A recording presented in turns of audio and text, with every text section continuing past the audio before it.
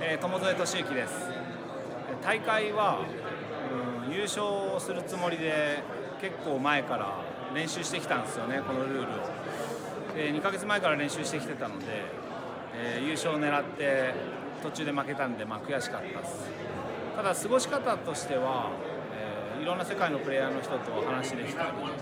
まあ、実際麻雀も手積み大変だろうなと思ってたけどやってみたら意外に楽しくて、えー、プレイ自体はすごく満足できました、えーと、あとアメリカの麻雀打っていく新しい人たちに対しては何ですかね。でも多分今から新しく麻雀知っていく人もたくさんいると思うんですけどこんだけ同じことが起こらないゲームって多分なくて。あとこれがすごいなと思ってるのは多分テーブルゲームで、え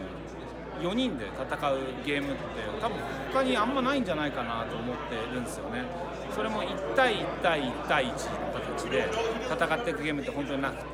こういう多角的ないろんなところから見た角度で楽しめるゲームをなんかこう平面じゃなくて立体的に楽しめるようになると麻雀の本質にもっと近づけると思うのでそこまで来たらあの僕を倒しに来てください。